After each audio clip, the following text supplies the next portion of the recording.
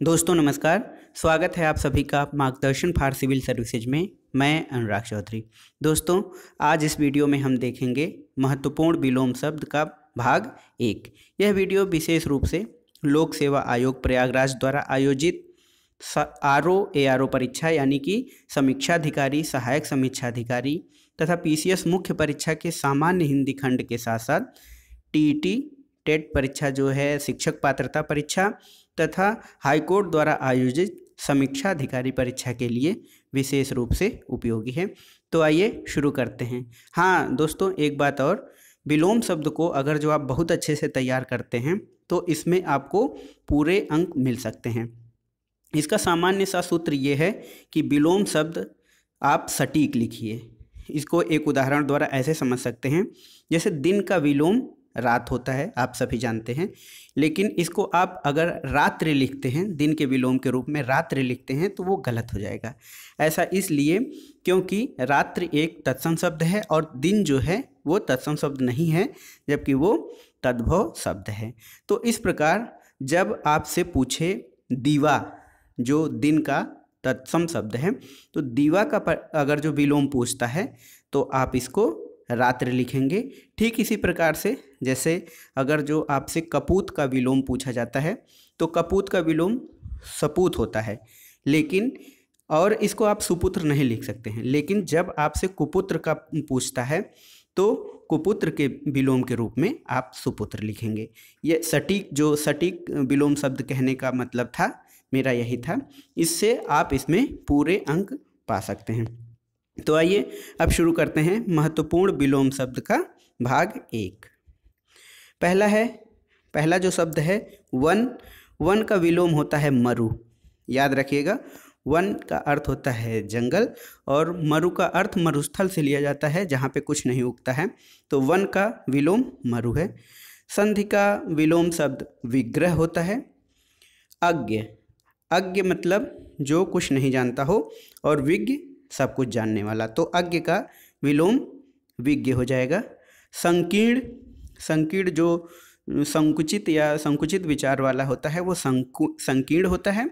इसका विलोम होता है विस्तीर्ण।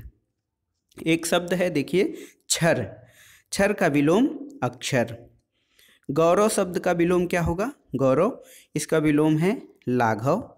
अभिज्ञ। एक शब्द अभिज्ञ आता है। कई बार परीक्षाओं में पूछा गया है, ये बहुत कन्फ्यूजिंग है। अभिज्ञ का विलोम अनभिज्ञ होता है। आप इसको ध्यान से देखिएगा। अभिज्ञ का विलोम शब्द है अनभिज्ञ। और दूसरा, एक संधि, हम पहले देख चुके हैं, ये दोहरा गया है, देखिए। संधि का विलोम विग्रह होता है, समास का जो विलोम है वो व्यास। समास का विलोम शब्द व्यास होता है एक शब्द आता है इंपॉर्टेंट है, देखिए, वैभव वैभव का विलोम पराभव। विलुप्त विलुप्त का विलोम है प्रकट। लुप्त या विलुप्त का एक अन्य जो विलोम शब्द है, वो है व्यक्त व्यक्त। विलुप्त का व्यक्त भी होता है। आप इसको ध्यान दीजिएगा, ऐसे विलुप्त को, इसका विलोम प्रकट के रूप में भी आप बता सकते हैं। अगला है, कई बार परीक्षाओं में पूछा है, कुसुम। कुसुम माने कोमल होता है और वज्र कठोर। तो कुसुम पुष्प का भी पर्यायवाची है, फूल का। लेकिन कुसुम का जो विलोम शब्द होगा, वो है वज्र। चुस्त। चुस्त का विलोम शब्द होता है सुस्त। चुस्त यानी कि एक्टिव और सुस्त मतलब लेजी। एक्टिव यानी सक्रिय जो होता है, वो चुस्त है। कई हमारे साथियों ने चुस्त को अपने ढंग से जो व्याख्या की थी, उसमें उन्होंने चुस्त का विलोम ढीला लिखा था, लेकिन वो सही नहीं होगा। चुस्त का सुस्त ही होगा। वीरान वीरान का विलोम शब्द आबाद है। संपत्ति का विपत्ति, विभक्त विभक्त मने अलग हुआ और संयुक्त मन मतलब जुड़ा हुआ। तो विभक्त का विलोम होगा संयुक्त। निर्जल निर्जल का विलोम शब्द आप दे सकते हैं, सजल है। निर्जल का जो विलोम है, वो सजल है। सुदूर सुदूर का विलोम सन्निकट और स्वप्न स्वप्न का विलोम है जागरण। इसके अलावा जो रिक्त है, एक शब्द आता है रिक्त, इसका अर्थ होता है खाली। रिक्त का अर्थ है पूर्ण पूर्ण यानी पूरा या भरा हुआ। तो रिक्त का विलोम पूरा होता है, तरल का ठोस है, सघन सघन मतलब घना बहुत होता है और बिरल, बिरला, थोड़ा सा अलग अलग तो सघन का विलोम शब्द बिरल होगा सहयोगी का प्रतियोगी है। एक होता है सहयोगी सहयोगी का विलोम प्रतियोगी होगा। असीम असीम और ससीम। असीम जिसकी सीमाएँ न हो और ससीम जो सीमाओं में बधा हुआ हो तो असीम का विलोम ससीम होगा। सृष्टि सृष्टि का विलोम शब्द है प्रलय। इसी प्रकार से ह्रस्व और इसका विलोम होता है दीर्घ। ह्रस्व का विलोम दीर्घ है। लवड़ का विलोम सरकरा होता है। लंबा लंबा का होता है ठिगना। लंबा का नाटा बौना या ठिगना आप कुछ भी दे सकते हैं, लेकिन लंबा का जो सटीक विलोम शब्द है, वो है ठिगना। आगामी, आने वाला, विगत जो बीत गया है तो आगामी का विलोम शब्द विगत है। उन्मूलन मतलब समाप्त करना और रोपड़ मतलब फिर से लगाना। तो उन्मूलन का विलोम शब्द रोपड़ है, ग्राम में। ग्राम में यानी कि गाँव से संबंधित तो ग्राम्य का विलोम नागर हो जाएगा, जो कि नागर का अर्थ होता है नगर से संबंधित। यथार्थ का विलोम यथार्थ और आदर्श। यथार्थ है, जो वास्तविक रूप से है, आदर्श जो, है जिसकी कल्पना की जाती है। यानी कि यथार्थ का विलोम आदर्श हो जाएगा।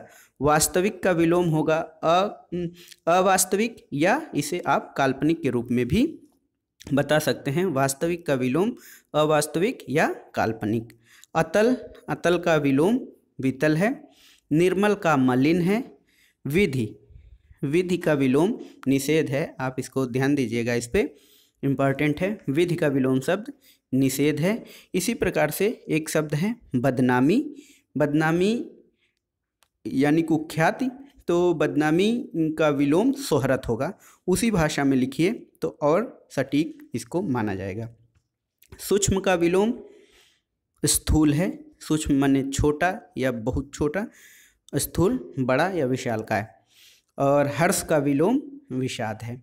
तो दोस्तों, ये था महत्वपूर्ण विलोम शब्द का पहला भाग। इसके हम अन्य भाग भी करेंगे।